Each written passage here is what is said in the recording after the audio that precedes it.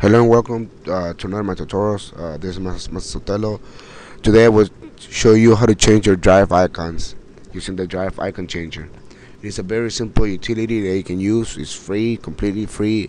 It's uh, very simple. You really don't have to know anything about computers. All you have to know how to use the mouse, basically. Uh, we're gonna do this using using a couple of examples I got. Uh, let's begin. Uh, this is the the app you're gonna use the application. I will provide a download link for you to get it so don't worry about that. Uh, once you run it it should come up. And uh, here we go. It's, it's very simple to use.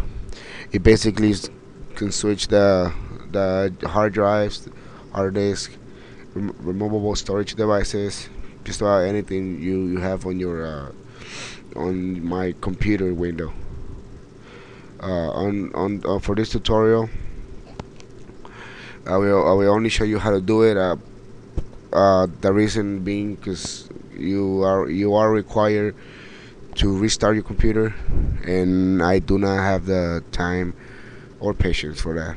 So I will only show you what to do. Uh, basically, what you have to do if you are if you're running this in Windows Vista or Windows 7 you will have to right click and uh, run as administrator right here. Otherwise it will not work. It will not allow you to do anything.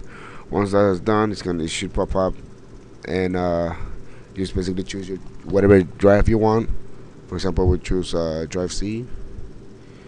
You browse for your icon this one I will use this server icon I have preset then just click save. Uh, once you click save it will ask you uh, the, you need to restart for the changes to take effect. Just click restart and it should go.